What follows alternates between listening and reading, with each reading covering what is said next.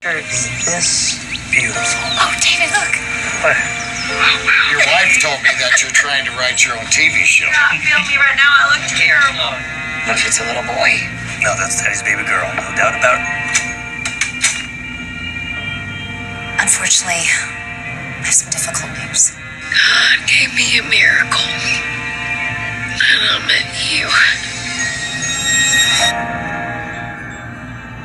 Please, Dave, go on with the show. There he is, folks.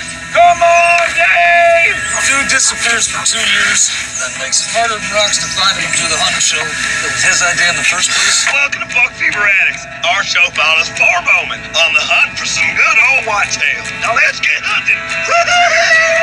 God proves he's alive himself. He doesn't need anybody else to do that. Even in the daylight, the woods can be confusing. Ain't nothing in them woods you can't kill with that bow. If I don't find them, I'm gonna find out what happened. Very funny, guys. Sure, you're okay, man. You guys hear anything weird out there, though? If you hang around in the darkness long enough, you're bound to make some dark friends. If you really want to share your religious beliefs with someone, maybe try a better tactic. Can't have heaven without hell, brother. Both got to exist. Or neither.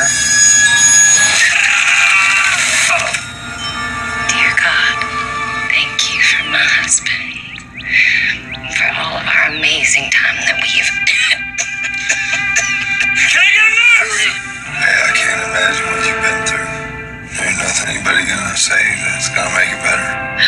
I'm gonna miss you.